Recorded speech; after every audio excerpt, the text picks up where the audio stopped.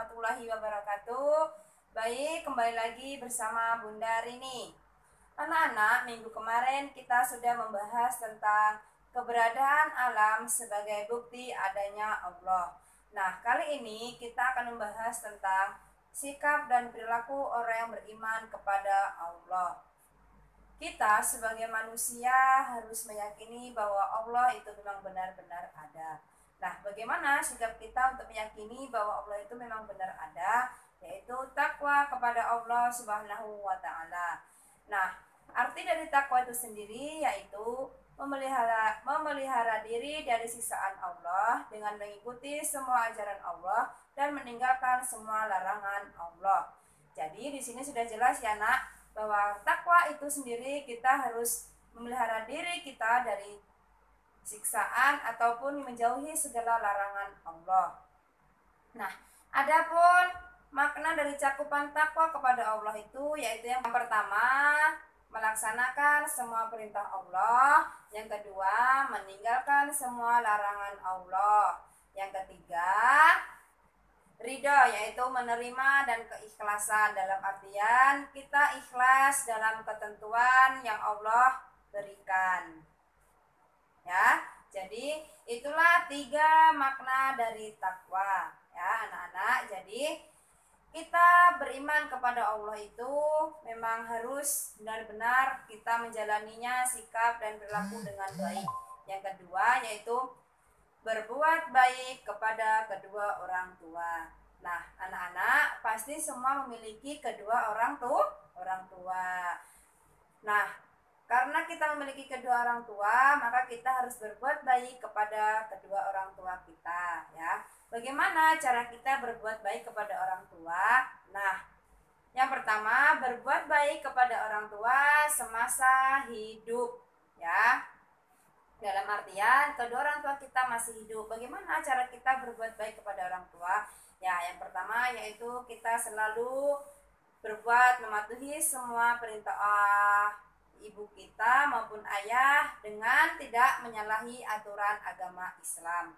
Yang kedua, selalu sopan santun, berbicara dengan sopan, berbicara dengan bijaksana, dan tidak membangkang. Ya, selanjutnya tidak berbohong dan tidak berdusta ataupun menjadi anak yang durhaka.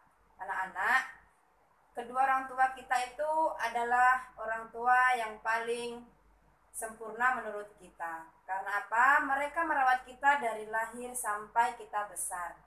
Kalau seandainya anak-anak mengecewakan hati kedua orang tua kita, pasti kedua orang tua kita akan sedih.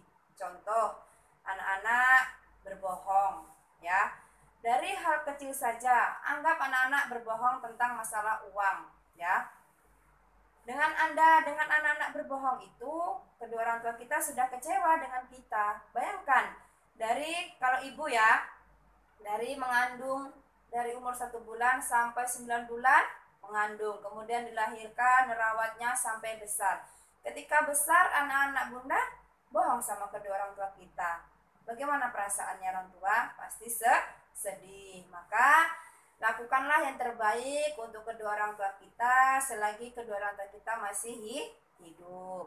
Nah, yang kedua, berbuat baik kepada orang tua ketika sudah mening meninggal. Yang pertama yaitu memohon doa kepada Allah agar diampuni dosa-dosanya, ya. Yang kedua yaitu mendoakan dan yang ketiga yaitu menjalankan wasiat dari orang tua kita. Kemudian tetap menjaga silaturahmi antara hubungan kedua orang tua dengan orang lain. Itulah cara kita berbuat baik kepada ibu dan bapak selam, ketika sudah mening meninggal. Sudah paham anak-anak? Jadi mulai sekarang anak-anak jangan sampai menyakiti hati kedua orang tua kita, apalagi dengan ibu. Karena surga kita berada di telapak kaki ibu. Nak, pasti anak-anak sudah dengar. Maka dari itu, berbuatlah baik kepada orang tua kita. Nah, selanjutnya yaitu berbuat baik kepada sesama manusia. Nah, selain kita berbuat baik kepada kedua orang tua kita, pasti kita berbuat baik kepada manu manusia.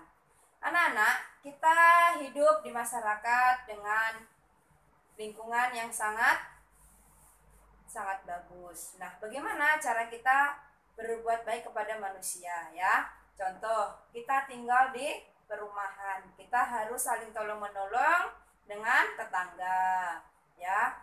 Selalu menasehati dari yang jelek menuju yang bagus ya. Jangan pula kalian tinggal di satu tempat, kalian saling mengguncing, menggosipi. Nah, itu tidak boleh, itu menambah dosa. Itu namanya bukan berbuat baik kepada manusia, tapi mencarimu, mencari musuh, ya. Selain itu, banyak hal yang kita lakukan untuk berbuat baik kepada manusia. Ya. Banyak hal seperti di lingkungan melakukan gotong royong bersama, ya, musyawarah bersama, menjalankan dengan baik, ya sudah paham anak-anak? Jadi itulah sikap dan perilaku beriman kepada Allah ya, yaitu takwa, kemudian berbaik berbuat baik kepada kedua orang tua, berbuat baik kepada sesama manusia. Paham anak-anak? Nah, cukup sekian. Namun sebelum Bunda akhiri tentu ada tugas. Ya, yang pertama berikan contoh berbuat baik kepada kedua orang tua selama masih hidup minimal dua. Yang nomor dua yaitu bagaimana cara kita berbuat baik sesama manusia. Bunda akhiri, Assalamualaikum warahmatullahi wabarakatuh.